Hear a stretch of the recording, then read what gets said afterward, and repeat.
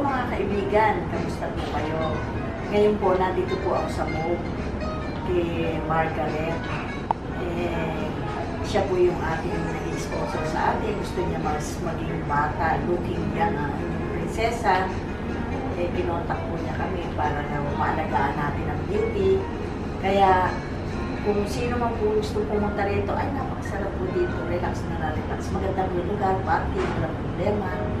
Ngayon, meron po si Mark na nilista sa mga nag, nagtatanong sa YouTube. Ngayon, hawak niya, naglista siya, sasagutin ko raw po kung ano yung mga tanong-tanong. Laki. Sabi ni Lentik, saan po nabibili yung salt and pepper mix? Salt and pepper mix. Sa mga mall po yan, supermart. I-try nyo po sa mga supermart. Mag-ask kayo sa mga salesman doon kung saan yung, yung stand ng mga salt and pepper nila. Sabi ni Purita Kamal, Hello po sister, tanong ko lang anong sekreto sa mukha mo? Share mo naman. Ay, ano nga ba sikreto sa mukha? Yung lagi pong masaya. Yun nga po eh, kaya na-invite na rin po kami dito sa mall. At yung ating pong kaibigan na si Margaret, gusto niya maalagaan daw yung beauty ko na ma-maintain yung ganito at my age na magiging 62 na sa December. Eh, gusto niyang maalagaan. Ngayon po, kita kasi po, alam naman po natin na pagdating ng 60, doon na natin nakikita eh, merong nagsasag na sa mga skin, mga wrinkles, wrinkles na yan. Alagaan daw po ako ni Margaret. Sa tanong ni Amelita Vaquilar, ask ko lang po, tagasan po kayo. Ay, tubong Bulacan po kami, San Miguel, Bulacan. Tanong ni Extina, madali po ba mapanis ang igado? Ang igado, depende yun eh. Kung naisamputsa mo siya ng maganda, ng maayos, kasi meron din suka yan eh. Meron din konting bell pepper, yung bell pepper, pag hindi mo na-fry mo mabuti, yun ang bibigay ng madaling mapanis yung mga sinasangkap natin mga gulay. Kailangan medyo lutuin po natin yun. Tanong ni Michelle Allen Bona, bakit po hindi ka nagpre-pray bago kumain? Ay!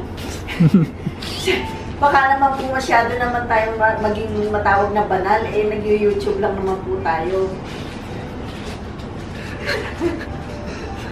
Sabi ni Saint Sachi Amaya, pwede po ba gamitin yung mantika ng baboy sa pagpapaalsa? Oo. Actually, yun ang mas magandang gamitin kasi kumbaga siya pinagito mo sa sariling mantika niya.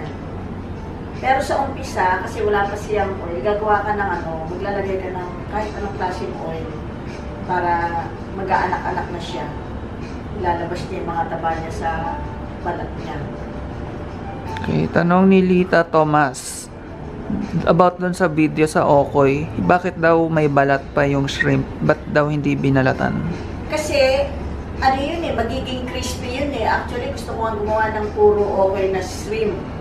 Nakasama ang balat, yung mga bigote nila, yung mga tusok-tusok nila.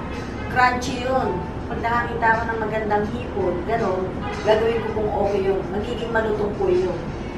Pero nasa inyo po naman yun eh. Kung ayaw nyo tanggalin yung balat, eh, huwag nyo tanggalin. Ay, de, tanggalin nyo. Okay, tanong ni Marlene De Talar, Madam, bakit po nakalahas kayo while cooking? Eh, doon lang ang pagkakataon ko mag-ala sa loob ng bahay kasi pag sinuot ko sa labas, baka pa ng buhay ko yun. O, bago man lang ako matigo, maisuot ko man lang yung mga alas ko. Okay, next. Sabi ni, tanong ni Susan Cruz, ang ganda nyo, how old na po kayo? Mabuti di kayo tumataba sa kakakain. Ay, thank you. Maganda ba ako? Tingin ko, di ako maganda eh. Kaya nga nagsusumikap ako, huwag tumaba eh. Kasi pag tumataba ako, doon na, nababawasan na yung sinasabi mong ganda.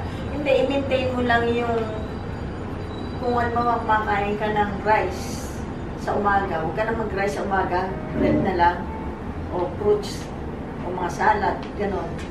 Tapos, sa gabi, iwasan mo ang rice. Pagka hindi mo maiwasan, ako, ako minsan gano'n eh, minsan tumataba eh. Lalo na kung pagod na pagod ako, marami akong ginagawa. Sabi ko, eh, gusto kong kumain ng kanin. Talagang gusto ko pa may dutong-dutong. Kung ano-ano yung mga piniprepare ako, maraming ulam dyan, marami. Tapos ang prutas. Busog na busog na ako sa kinain ko na may rice. Pero sasaksakan ko pa rin ng prutas para mala, maano yun, high fiber sa umaga. Tanggal. Hindi siya yung pupunta sa taba yung mga kinain mo. Yun po, makaprutas po ako. Kahit anong daming kinain nyo, basta marami kayong prutas na kakainin, tatangayin lahat yung ilalabas lahat yun. Tanong ni Dan Flores, ang sexy ni inay, asan po si tatay? Ay, si tatay, nasa kabilang bahay. sa kabilang bakod. Ato, tanong ni Jade Jaded, pag nagpabook ba sa Move, meron ba discount ang mga subscribers nyo? Ay, oo, bibigyan ka ng discount. Meron pa nga silang promo ngayon eh. Ano, ano ba yung promo nila? Ayan, may dala kami isang kasama namin. Mamimigay tayong vote. No, gift cert O, mamaya. magbibigay kami ng gift, ah, ano yan? Gi- Gift certificate. Gift certificate sa mall. Mm Tsaka meron daw silang 20% discount yung mga subscribers mo sa facial services. Basta mag-message lang sila. O, yun. Kita nyo na. Yung meron po akong isinama ngayon na may kung gusto nyo ako ano, mamit dito, mag-message kayo kay Mark para malibre kayo ng gift certificate. Tapos, next na babalik kayo, may discount na kayo ng 20% o 25%. Mga gusto nyo, magsabay-sabay tayo dito para Kon- bongga. ah. Chika-chikahan natin. Contest yung ano, Ay, gift certificate. Ma'am, bubunot lang tayo ng mananalo. Ay, gano'n? Basta mamaya. Oo, ganun. Tanong ni I love MJ Alat, ano po yung brand ng mga kawali nyo? Matagal nyo na ginagamit pero di nagagasgas. Ay, kasi hindi ko nga alam na pakikinabangan ko yan dito sa cooking lesson natin eh. Kasi wala naman sa plano yung pag-upload ng mga cooking lesson na yan. Si Mark lang nag-push sa akin. Kasi actually po, mahilig ako sa mga magagandang gamit. Tulad nun, sa alahas, maganda, mahilig ako sa alahas. Nung kumikita na ako, maayos na kita ko, nabibili ko yung gusto ko. Tapos, sa mga kusina, gusto gusto ko yung magagandang gamit. Meron nga eh, dalaga pa ako, 18 years old ako, may binili ko. Ayun, nagagamit ko pa yung kulay brown na Vision, may cover na transparent. 18 years old pa po ako, ay tamubuhay pa. Nagagamit ko minsan sa cooking natin. Yung po, nung nasa Oman ako, di kayang-kaya ko nang bumili, huli ko yun na binili, inisip ko muna, makapundan muna ng bahay para may paglalagyan ako noon. Ang mga magaganda ko kasi mga nabibili ko, nagka-canvas ako doon, nagtatanong-tanong din ako, yung magagandang klase. Yung Pissler, made in Germany po yan. Talaga po namang napakaganda. Ang ganda rin po ng presyo. Yun po. Pati po yung mga sandok, yung mga sandok na parang akala mo plastic, pero ano po yun, Pissler.